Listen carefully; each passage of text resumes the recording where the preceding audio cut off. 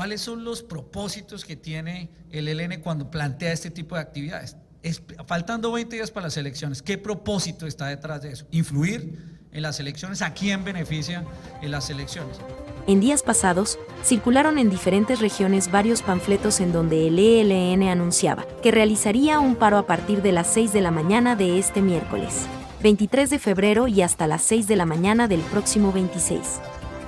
De acuerdo con la guerrilla, solo podrá movilizarse por razones humanitarias o emergencias hospitalarias. Aseguró el ELN que las autoridades no podrán responder por las afectaciones que le puedan suceder a los vehículos que desacaten el paro.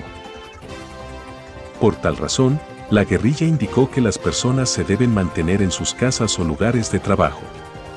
Tras este anuncio, el ministro de Defensa, Diego Molano, indicó que garantizará la seguridad en las zonas, con presencia de más de 240.000 hombres de la fuerza pública, y que en 14 municipios de la costa pacífica está lista la Armada para vigilar las vías marítimas y fluviales.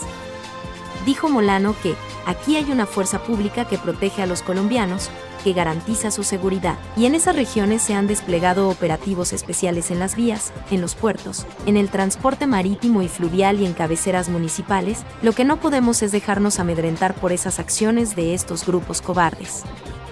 Asimismo, denunció el ministro de Defensa que ese paro armado del ELN es con fines politiqueros. No es casualidad que faltando 20 días para las elecciones surjan estas amenazas, pero tiene uno que preguntarse qué propósitos tiene, qué interés politiquero tiene, que, justo antes de las elecciones buscan amedrentar a la sociedad colombiana. ¿A quién beneficia? ¿A quiénes buscan favorecer? Pareciera que estaría buscando influenciar para que haya falsas promesas de paz o para que haya perdones por parte de otros.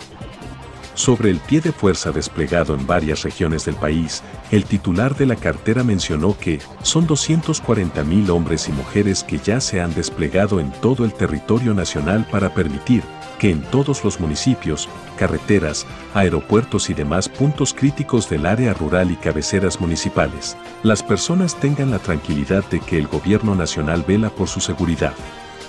Pero líderes de algunas regiones de Arauca, Cauca y norte de Santander, aseguran que los pobladores prefieren acatar el paro del ELN. Aseguran que mientras está la fuerza pública hay respaldo de las autoridades, pero luego que se retiran vienen las represalias de la guerrilla. Dijo un líder del Cauca, quien prefirió mantener su identidad en reserva por seguridad. Si te gustó escuchar este artículo, suscríbete a nuestro canal, 90 Segundos Noticias. Recuerda, activar la campanita darle compartir y dejarnos tu comentario. Gracias.